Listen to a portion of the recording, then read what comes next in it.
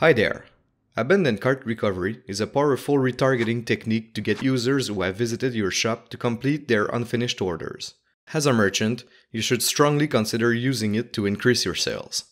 In this video, I'll show you how you can see abandoned carts and set up automated recovery campaigns within Snipcart.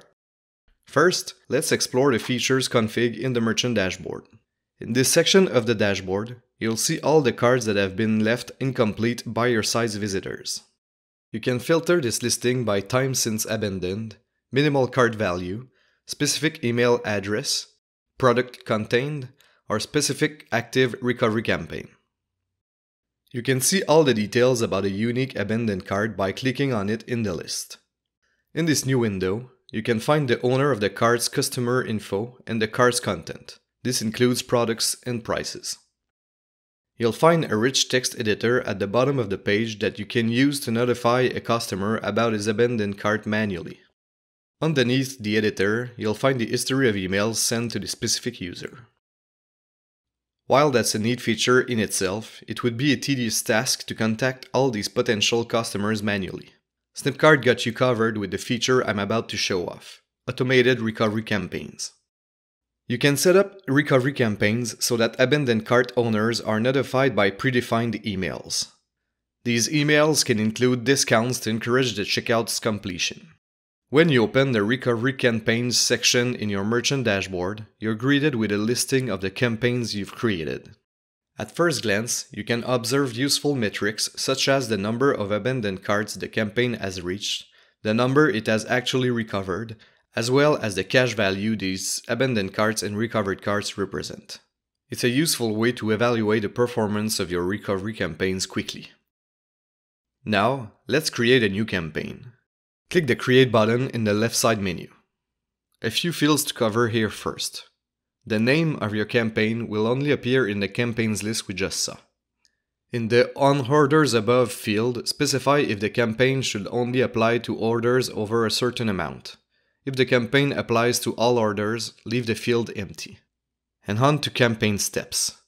A campaign can contain multiple steps, triggered at different moments. For the campaign's first step, specify how much time the email should be sent after the cart abandonment. If you click Attach a discount to this step, new fields appear. You can name the discount and determine what type of discount it is. Depending on the type of discount selected, complete the last fields with the value of the discount. To learn more about our discount feature, head to the discount section of our documentation or the video tutorial we did for it. You can then click the Add New Step button to create a second email to be sent later on to carts still not recovered. A good practice is to send more attractive discounts with each new step of your campaign to convince more stubborn visitors to complete the purchase. You can set up a maximum of three steps within a recovery campaign. By clicking the Edit Template button, you can customize the email received by the customer for each new step of the campaign. To learn more about emails template editing, consult the emails template section of our documentation or the video tutorial we did for it. It's important to note that an abandoned cart owner can't receive emails from more than one campaign. The abandoned carts will always be matched to the most specific campaign. For example, an abandoned cart's owner with a $600 value will receive emails from a campaign set for orders above $500, but not from the one set up for orders above 50. I hope everything I covered here is clear. Let's finish this video with a quick demonstration of how your site's visitors will experience the whole abandoned cart recovery process. So let's pretend for a moment that Bill Michael is on a Van Gogh shopping spree here. He loves that Starry Night painting, adding it to his cart four times. That's a great sale for you. He starts filling out his billing info and then proceeds to select his preferred shipping method.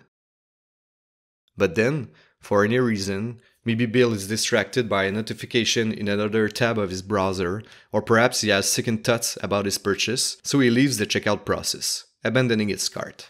Time passes, Bill even went back to your site, adding Night to his cart multiple other times, but he can't make up his mind.